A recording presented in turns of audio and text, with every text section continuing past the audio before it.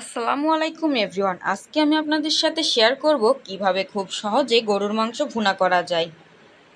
এখানে আমি দেড় কেজি পরিমাণ গরুর মাংস নিয়ে নিয়েছি। গরুর মাংস ভুনা করতে আরও লাগবে কুচি করে কেটে রাখা পেঁয়াজ, ফালি করে কেটে রাখা কাঁচামরিচ, আদা, রসুন, জিরা পেস্ট। আরও নিয়ে নিয়েছি রেডিমিক্স মাংসের মশলা। আপনারা চাইলে এটা স্কিপও করতে পারেন। নিয়ে নিয়েছি দারচিনি, গোলমরিচ, এলাচ, তেজপাতা। চুলায় একটি প্যান বসিয়ে দিয়েছি।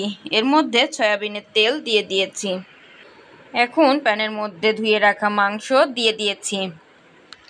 একে একে সবগুলো উপকরণ দিয়ে দিব। এর মধ্যে দিয়ে দিচ্ছি কুচি করে কেটে রাখা পেঁয়াজ, ফালি করে কেটে রাখা কাঁচামরিচ, দিয়ে দিচ্ছি আদা, রসুন এবং জিরা পেস্ট। দারচিনি, এলাচ, তেজপাতা, গোলমরিচও দিয়ে দিব। এবারে দিয়ে দিব রেডিমিক্স মাংসের মশলা। আপনারা চাইলে এটা নাও দিতে পারেন। দুই চা চামচ পরিমাণ লবণ দিয়ে দিব। সবগুলো উপকরণ ভালো করে মিশিয়ে নিতে হবে।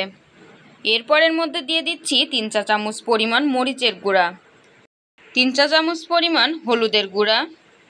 আরও দিয়ে দিচ্ছি দুই চা চামচ পরিমাণ ধনিয়া গুঁড়া। সবগুলো মিশ্রণ একসাথে নেড়ে চেড়ে মিশিয়ে দিতে হবে। সামান্য পানি দিয়ে নেড়েচেড়ে ঢাকনা দিয়ে ঢেকে দিব। ঢাকনা তুলে ভালো করে নেড়ে দিতে হবে, নিচে যেন লেগে না যায়। নেড়ে চেড়ে আবারও ঢাকনা দিয়ে ঢেকে দিতে হবে।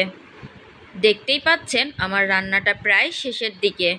এখন এর মধ্যে আমি দিয়ে দিব গরম মশলার গুঁড়া। তৈরি হয়ে গেল সেরা স্বাদের গরুর মাংস ভুনা রেসিপি। এইভাবে গরুর মাংস ভুনা করলে একবার খেলে বারবার খেতে ইচ্ছা করবে।